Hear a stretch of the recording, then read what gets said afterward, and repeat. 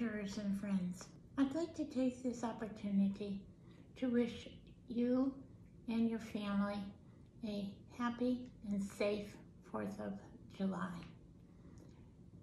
However you're spending it, whether you're with family, friends, neighbors, you're blessed to be able to do that in this country. I'm thankful, honestly, that I live in the United States of America.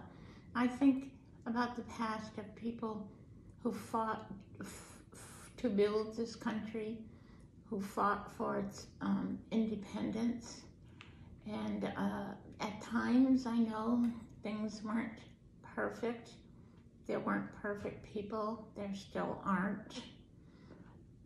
I believe amongst all the negativity that is going on right now, that we still are going to be able to work through this, and we can do that if we stand together as a nation. I truly believe that, but we need to stand together.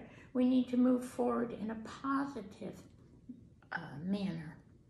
I'm, I'm sure that we can still do this. And so I would say to you, take this time, 4th of July, to enjoy your family. Be thankful for what this country does offer us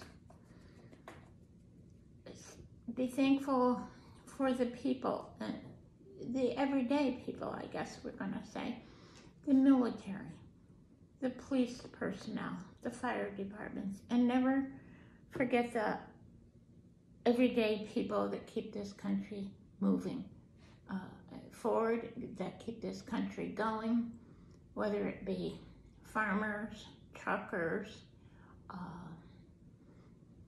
the, the store clerk, they all are contributing of their lives in some way. And we are fortunate that in this country we are able to do that. I hope that you and your family, friends and neighbors will stay safe and well this 4th of July. So till the next time, I'll see you then. Bye-bye.